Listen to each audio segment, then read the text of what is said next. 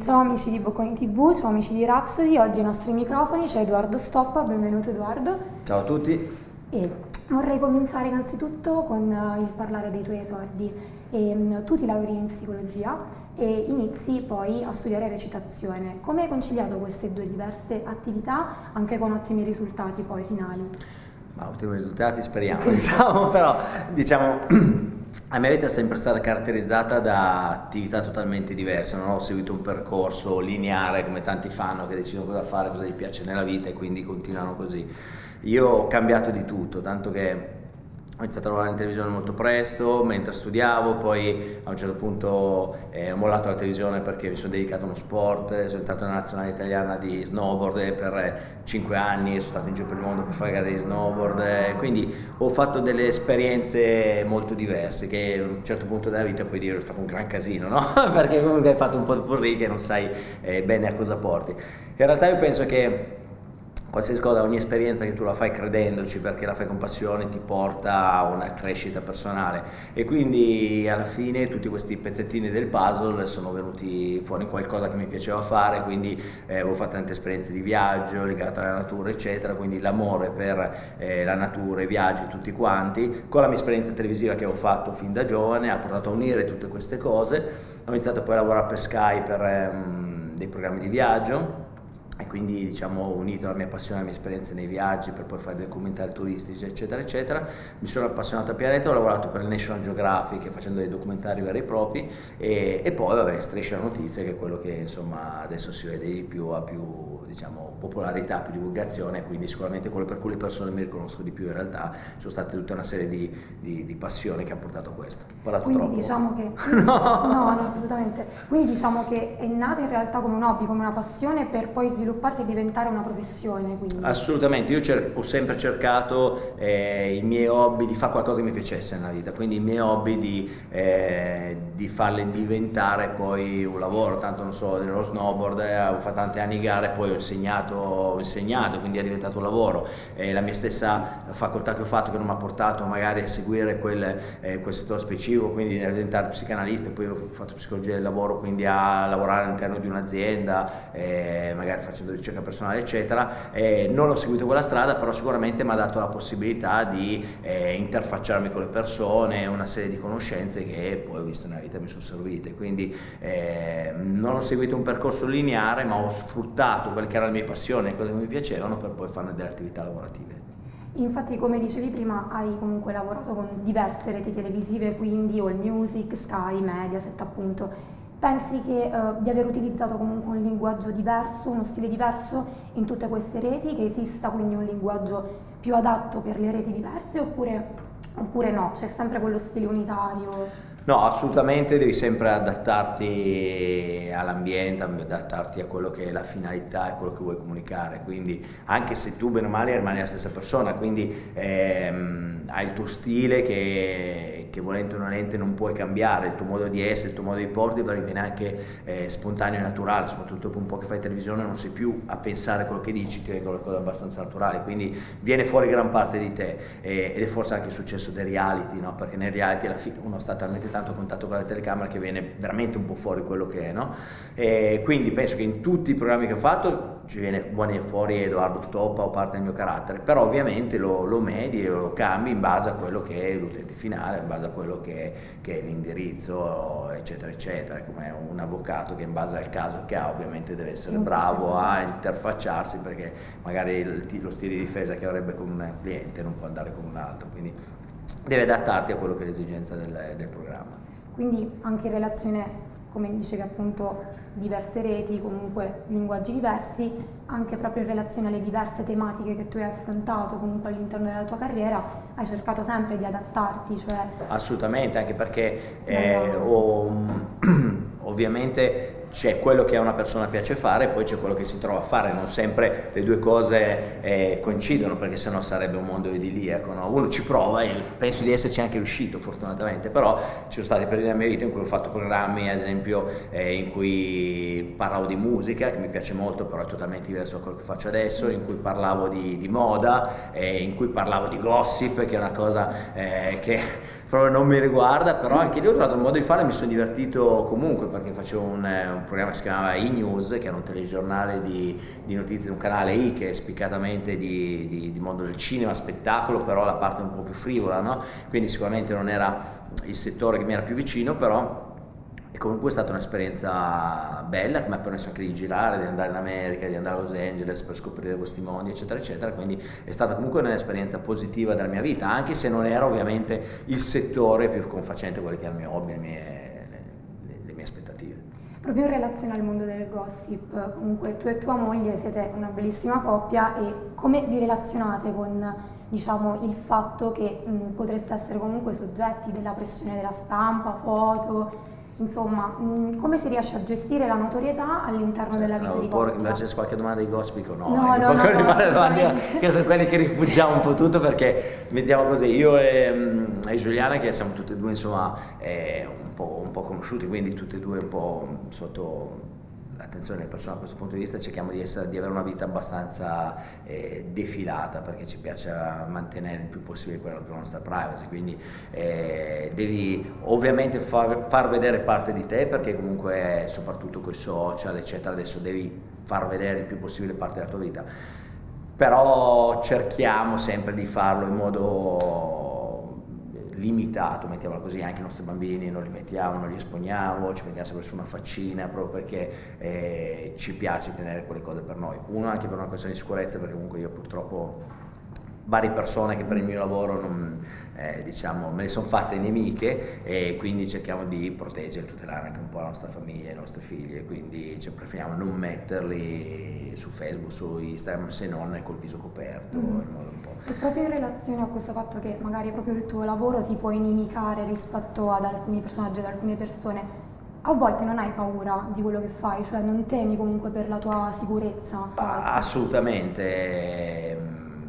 ci sono situazioni che l'ultima due giorni fa sono andato in onda che a Benevento non ho avuto un grande, un grande, una grande accoglienza. Quindi sono situazioni che ti preoccupano preoccupano molto mia moglie Giuliana che sembra abbastanza preoccupata io eh, in, ho imparato a gestirle c'è sempre la paura per fortuna che c'è, che fa parte del, del, lavoro, perché se non ci fosse quella ti metteresti nei guai, quindi è un po' spirito di conservazione la paura, no? E poi cerchi di affrontarla, cerchi di gestirla, cerchi soprattutto di usare la testa per eh, gestire le situazioni, è una grandissima scuola di vita perché quando hai una persona che ti vuole menare in tutti i modi, tu sai che non puoi reagire perché non ti puoi in nessun modo abbassarti a al loro livello, non puoi reagire, devi gestire la situazione, sicuramente eh, ingegna il cervello per cercare di trovare delle vie alternative, per cercare di capire la persona, e qui vengono anche famosi studi di psicologia magari che mi aiutano, no? cercare di capire come alla fine è passato eh, la fase iniziale in quella persona presa dall'ira ti mena e poi cercare invece di capire come ricondurre, ci sono volte che purtroppo è iniziato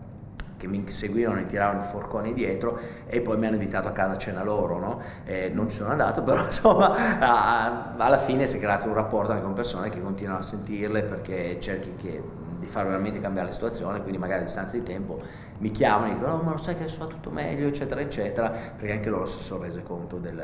diciamo, delle loro magagne, quindi eh, tutte queste formazioni che ho avuto penso mi aiutino a gestire anche queste situazioni difficili, anche se c'è la paura si cerca di gestirla. C'è qualche aneddoto particolare che ci vuoi raccontare magari in relazione proprio alla realizzazione dei tuoi servizi? Ce ne sono mm,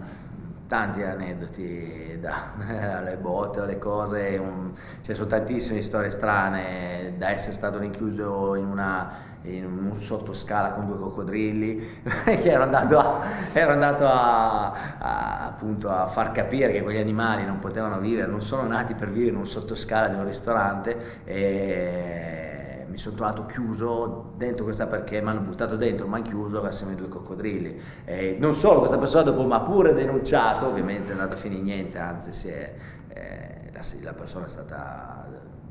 denunciata, ritornata colpevole di maltrattamento, e, però insomma mi sono trovato chiuso lì, oppure mille altre situazioni in cui mi sono trovato in, in Vietnam, ad esempio perché mh, siamo andati a occuparci dei, mh, dei Burmoon, che sono degli orsetti dal collare, si chiamano la luna che... Mh, sono tutte condizioni pazzesche, in gabbie minuscole perché gli tolgono un, un siero dalla bile che secondo la medicina tradizionale cinese dovrebbe essere un fortissimo eh, antinfiammatorio, in realtà non ha nessuna funzione particolare, però sono costretti a vivere per anche 20 anni con questa continua catetere che li toglie. E lì mi sono trovato per andare a diciamo, informarmi su questo traffico, mi sono trovato rinchiuso in questa, in questa specie di fattoria con gli orsi, con un, due vietnamici, con, con, un, diciamo, con un, dei ganci in mano delle, che non ci volevano più far uscire dall'azienda. E lì sei anche in un territorio lontano, che non conosci tanto, lì strisci la notizia, non la conoscono, quindi mm. eh,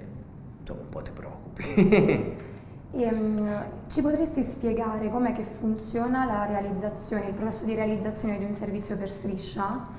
Sì, e quei tre minuti che vedete in onda, 3-4 minuti in realtà sono molto lunghi perché tutto inizia con le segnalazioni, quindi inizia dai cittadini o da associazioni che mi conoscono, che mi mandano delle segnalazioni. La segnalazione è spesso è una bufala, una cavolatina, una cosa di scarsissimo interesse, spesso è mossa da interessi privati, la gran parte delle segnalazioni sono mosse da, da interessi privati, o è l'azienda concorrente, o è il vicino di casa che magari ha, ha il cane di fianco che gli dà fastidio perché abbaia, quindi sono sempre interessi privati. Quindi tu devi capire, la cosa difficile è capire se questi a questi interessi privati poi c'è legato veramente una vera problematica, un vero maltrattamento oppure è solo una persona che si lamenta quindi, quindi già questa prima fase di studio della, eh, della, segnalazione è di fondamentale importanza. Una volta deciso che è una segnalazione degna di, di, nota si va a fare un sopralluogo, quindi qualcuno va a vedere, informarsi eccetera eccetera, che in alcuni casi sono io, in alcuni casi sono i miei collaboratori, perché non ce la farei a produrre tutto e dopodiché si decide di andare a fare il servizio tutte le problematiche del caso, perché magari dietro una persona che non riesce a trovare, ci sta dietro anche 3-4 giorni, perché magari eh, non riesce a trovarlo, non riesce a provare quello che è la segnalazione, quindi cerchi di approfondire il più possibile. Alla fine torni, fai una specie di premontato, noi consegniamo a striscia un premontato di 9-10 minuti, dopodiché loro decidono quello che va in onda in base all'importanza del servizio, in base allo eh, spazio che c'è all'interno del programma e, ed sono quei 3-4 minuti che poi vedete in onda voi, in realtà c'è un lavoro dietro lunghissimo tantissimo, quindi per andare in onda 3-4 volte a settimana come vado in onda io vuol dire che sei sempre a lavorare, sempre. Secondo te comunque da quando sei in onda, da quando lavori, ci sono stati degli effettivi ritorni non solo in termini di immagine ma anche proprio in termini di sostenibilità economica per le associazioni specializzate nella tutela animale? Oppure... Allora, sostenibilità economica non lo so perché comunque l'associazionismo è in crisi, considerando i periodi di crisi mondiali, non solo italiani, quindi le associazioni sentono sempre di più perché dove uno taglia diciamo è nel sociale, la prima voce che taglia è quella del sociale, mettiamo così, quindi eh, le associazioni vivono sempre un po' a fatica e sempre di più penso. Eh, ho visto grossissimi cambiamenti invece nella, nella, mentalità delle persone, diciamo, questo è stato un grande merito, eh, sicuramente magari non più che mio, ma di, di, avere un grosso canale come Striscia Notizia che entra nelle case delle, delle famiglie alle 8 di sera, 8 e mezza di sera, tutte le sere e si parli di maltrattamenti, di argomenti del genere, ho visto dei grossissimi cambiamenti nei confronti nel, proprio di sensibilità a livello nazionale quindi eh, persone che mi scrivono usando le mie parole no? proprio per i servizi dicendo ah ho visto oppure ah ho visto quel servizio tuo ma sai che c'è una situazione simile anche da me e quindi vuol dire che tutto il lavoro che fai non finisce col servizio perché magari a volte si fa un servizio solo per un animaletto, solo per un cagnolino ma eh, fa opera di un, diciamo, un'azione di, di, di, movimento proprio, di, di sensibilizzazione delle, dell'Italia, penso che questo sia sia stato un grande lavoro e sia cambiato proprio anche il modo di considerare gli animali che prima venivano relegati nelle trasmissioni magari in seconda serata o su Rai 3 di pomeriggio perché quello era lo spazzettino venivano trattati gli animali sempre come la cosettina buffa carina da far vedere per creare. Adesso gli animali se tu guardi sono presenti in tutti i telegiornali, spesso i telegiornali finiscono con una notizia sugli animali e c'è stato una, diciamo, un ampliamento di questo settore, di questo argomento che non è più considerato di nicchia ma è 360 gradi un po' diciamo, di interesse pubblico. E, ehm, tu prima ci hai parlato dei tuoi viaggi, comunque sappiamo che è una tua grandissima passione. E, ehm, qual è il tuo prossimo viaggio, qual è il prossimo viaggio che hai in programma e soprattutto qual è quello che ti ha lasciato di più a livello di crescita personale? Ma diciamo ogni viaggio ti lascia, io sempre, ho sempre sostenuto che non esiste un paese che non va visto, cioè non esiste un paese in cui non vorrei andare o un paese in cui eh, non, valga, non, valga, la pena andare, anche quello magari più monotono, eccetera, però hanno sempre qualcosa da comunicarti, sempre qualcosa di bello, per me viaggiare è proprio la, la, la, la forma primaria, principale di, eh, di, cultura che puoi avere, di, di accrescimento personale, perché ti, ti, poni in rapporto col diverso, ti poni in rapporto con, con eh, sapersi adattare, con l'imprevisto visto, con eh, le difficoltà, tutto quanto, no? e, ehm, e, quindi è fondamentale. E quindi ogni viaggio mi ha lasciato dei, dei ricordi bellissimi, ho avuto la fortuna di viaggiare tantissimo. Il prossimo viaggio eh, diciamo di diletto sarà in Brasile a Natale perché mia moglie è brasiliana, quindi andiamo a far conoscere ai familiari il piccolino appena nato che ha due mesi e invece poi a febbraio torneremo in Africa per Striscia Notizia a occuparci di, siamo già andati l'anno scorso a occuparci di, di bracconaggio e, in modo specifico nei confronti degli elefanti e dei rinoceronti eh, perché mh, fanno delle stragi, stragi incredibili tuttora c'è il bracconaggio in Africa alimenta purtroppo tutta una serie di attività illegali pazzesche eh, perché spesso purtroppo si pensa che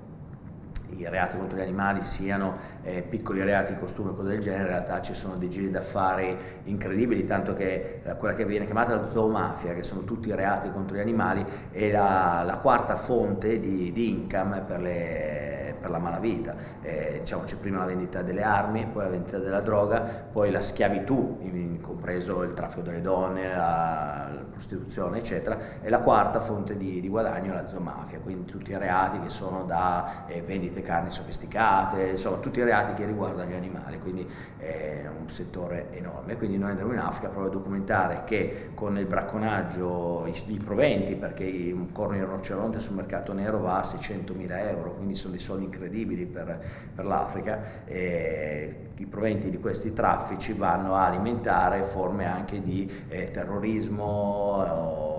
eh, africane, i terroristi del Sudan, eccetera, eccetera. Quindi sono problematiche serie, molto serie.